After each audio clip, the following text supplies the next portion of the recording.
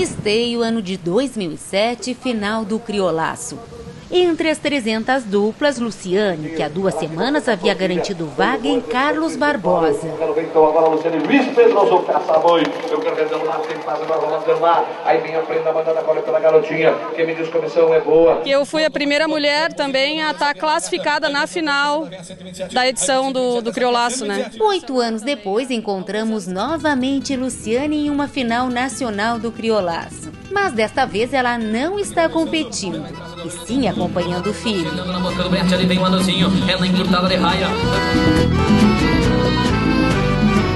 Nós estamos aqui ao lado do Alain Coutinho, que tem apenas seis anos e é uma das grandes promessas do laço.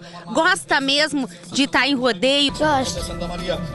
e não tem medo, não fica nervoso na hora de, de largar a armada? Não. Tímido para falar, mas muito à vontade com o laço e com Dom Juan de Santo Isidoro, cavalo que ele monta desde os quatro anos de idade.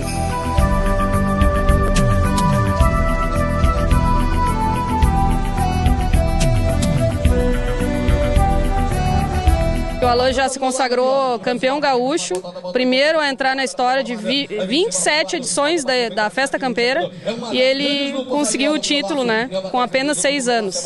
Já quebrou um recorde, né? Ele treina muito em casa, como é que conseguem conciliar os estudos? Ele vai bem no colégio?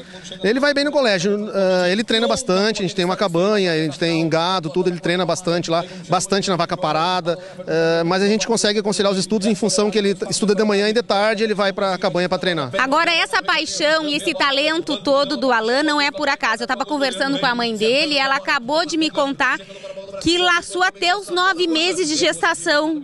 Até os nove meses. E ele nasceu com nove meses e 15 dias. Então eles brincavam com nós que ele treinava já com o cordão umbilical, né?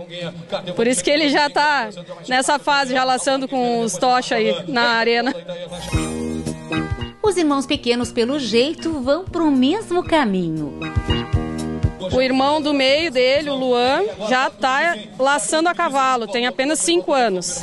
O fato é que a paixão do casal pelo laço é tanta que até o nome do primogênito tem relação com a prova.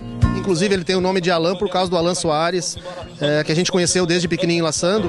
E por falar em Alain, olhem ele aí. O que será que ele pensa dessa homenagem? Isso é uma emoção muito grande, um prazer em ter ele com o meu nome também.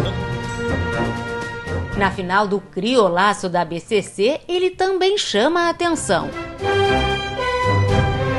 O Alan tem três vidas laçando em esteio hoje, atualmente. Ele classificou, é o mais jovem a laçar com duas vidas no laço criador e também na final nacional do laço eh, de duplas na categoria A.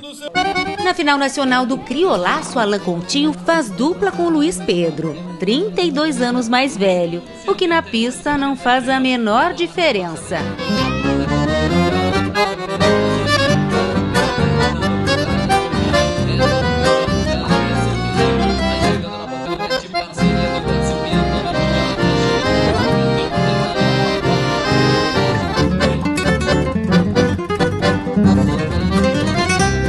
Agora, é um orgulho que não tem tamanho ter o filho participando, chegando à final do laço com essa conquista, disputando com os grandes nomes da raça crioula. Ah, não tem tamanho. Emoção sem fim. E olhando assim hoje, dá pra apostar nesse guri? Acha que ele vai dar bom mesmo, vai continuar assim? Com toda certeza, né? Ele é muito, ele laça muito bem, vai ser um grande laçador, até porque a família que ele tem, né, é muito boa, são pessoas humildes, de gente fina mesmo, e vive no meio disso aí. Talvez nem ele mesmo saiba o que, que ele ganhou ah, até hoje, porque o pai e a mãe dele também nunca ganharam isso e nunca, talvez nunca vão ganhar, mas ele já conseguiu com apenas seis anos.